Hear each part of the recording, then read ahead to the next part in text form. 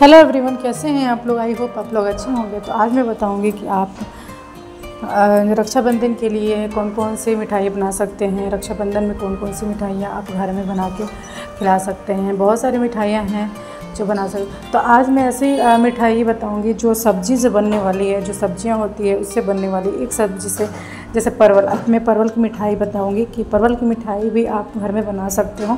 मैंने कभी नहीं सुना था कि हाँ परवल का भी मिठाई बनता है, लेकिन आज मैंने रेसिपी देखा परवल की मिठाई का और बहुत ही टेस्टी मतलब बहुत ही अच्छा बनता है परवल का मिठाई। तो आप इस तरीके से परवल का मिठाई बना सकते हो, जिसमें उसमें थोड़ा सा खोआ टाइप का घर में खोआ बना सकते हो। घर में खोआ बना करके आप जैसे परवल का क्या होता है? परवल में जितना भी बीज है, पहले परवल को दो भाग में काट लेना है, उसके बाद जितने भी बीज है, उसको निकाल लेना है। और बीज निकालने के बाद तब जाके जो मावा है, उसको अच्छे से घर में बना लेना है। मावा बनाने के बाद आप जैसे चीनी वगैरह जो भी है, मावा खोआ बनता है, उस तरीके से आप खोआ बना के आप इसमें जैसे कि परवल में अलग से डाल के, परवल में अलग से डाल के आप इस तरीके से जैसे उसका परवल के अंदर जो वो होता है, मावा होता है, उसको भर के आप इस तरीके से मिठाई बना सकते हो। तो ये रेसिपी कैसी लगी ज़रूर बताइएगा। चैनल पर नहीं हो तो चैनल को सब्सक्राइब करिएगा। और ज़्यादा कोई लंबा रेसिपी नहीं है, ज़्यादा कोई बड़ा नहीं, आप इसको इजीली घर में बना सकते हो। अभी राखी आने वाली राखी के त्यौहार में बहुत सारी मिठाइयाँ घर में लोग बनाते हैं, रसगुल्ले हो गए।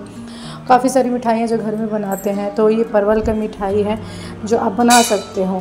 और इसमें ये नहीं है, बस छोटा सा रेसिपी है कि आप इसको थोड़ा परवल को छीन लो, उसके बाद आप उसको दो भाग में काट दो।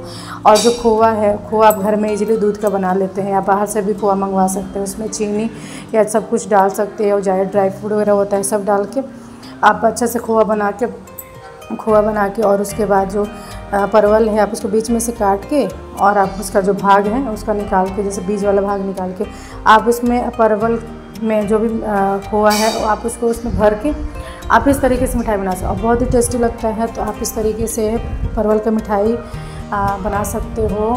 तो रेसिपी कैसी लगी ज़रूर बताइएगा। चैनल पर नहीं हो तो चैनल को सब्सक्राइब ज़रूर करिएगा, लाइक शेयर ज़रूर करिएगा ज़्यादा से ज़्यादा सपोर्ट ज़रूर करिएगा। और मेरा एक दूसरा चैनल मैं भी, उसका लिंक डिस्क्रिप्शन में डाल दूँगी। तो आप ज़रूर उसको भी जाके मेरे दूसरे चैनल को भी आप लोग फॉलो करिएगा सब्सक्राइब करिएगा। तो देखिए, ये बहुत अच्छी अच्छी, बहुत आप उससे अच्छे से सजा सकते हैं। ऊपर से थोड़ा प्लेट में डाल के डेकोरेट कर सकते हैं।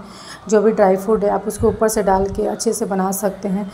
तो बहुत ही अच्छा लगता है परवल का। आप अपने घर में अपने तरीके से बनाइए। आप बाहर जाके, आजकल बाहर की मिठाइयाँ कुछ सही नहीं होती है। तो आप रेसिपी देख के आप अपने घर में ही बना सकते हो। आप अपने घर में ही जो भी रेसिपी होता है, बहुत सारी, कितना अच्छा सजावट है। आप अच्छे तरीके से प्लेट में डेकोरेट कर सकते हो। परवल की मिठाई को ड्राई फ्रूट डाल के सारा कुछ इस तरीके से। तो आपकी ये, आपको ये रेसिपी कैसी लगी ज़रूर बताइएगा। चैनल पर नहीं होंगे तो चैनल को सब्सक्राइब करिएगा और भी अच्छी अच्छी मैं रेसिपी लेके आऊँगी आप लोगों को दिखाने के लिए। तो मेरे चैनल को ज़्यादा से ज़्यादा सपोर्ट करिए, सब्सक्राइब करिए और शेयर करिए। Thanks for watching.